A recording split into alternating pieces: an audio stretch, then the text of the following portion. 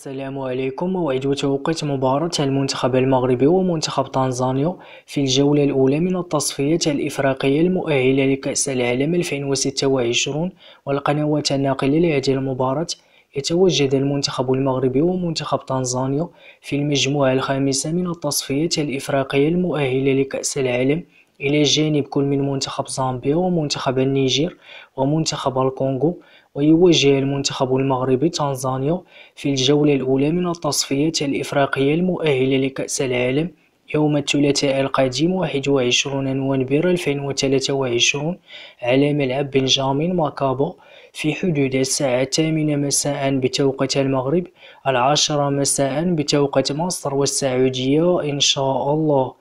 ومن المنتظر نقل هذه المباراة على قناة الرياضية المغربية وعلى قناة الأولى المغربية.